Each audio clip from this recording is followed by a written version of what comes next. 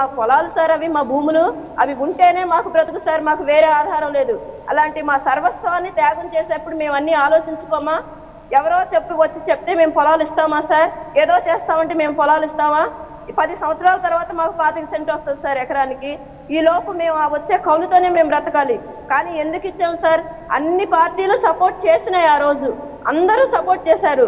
రైతులు నిజానికి రైతులు పాదాభివందనం చేయాలని చెప్పారు సార్ ఆ రోజు.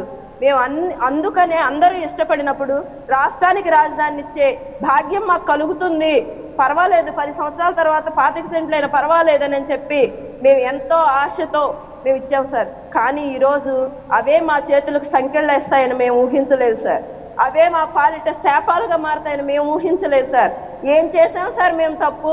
పసిపిల్లలతో ఉన్నారు సార్. ఆ- అక్కడికి జైలుకి వెళ్ళిన వాళ్ళలో వాళ్ళని చూస్తుంటే కళ్ళల్లో నీళ్ళు వస్తున్నాయి సార్. చేతులకు బేడీలు వేసుకొని తీసుకెళ్తుంటే ఏ సార్ అవినీతి చేసిన వాళ్ళు ఏమైపోయారు? మర్డర్ చేసిన వాళ్ళు ఏమైపోయారు? మానభంగాలు చేసిన వాళ్ళు ఏమైపోయారు? అక్రమార్కులు ఏమైపోయారు సార్? వాళ్ళని కనీసం అరెస్ట్ చేశారా? మా రైతులు చేసిన తప్పేంటి? వాళ్ళకి చేతులు బేడీలు వేసుకొని తీసుకెళ్ళే చట్టం ఎక్కడుంది సార్? ఒక మాట మీరు ఎక్కడి నుండి అడుగు వస్తున్నారని అడిగినందుకు సంఖ్యలు వేసి తీసుకెళ్ళారు సార్. ఇది న్యాయమా? జగన్మోహన్ రెడ్డి గారికి ఇది న్యాయమేనా?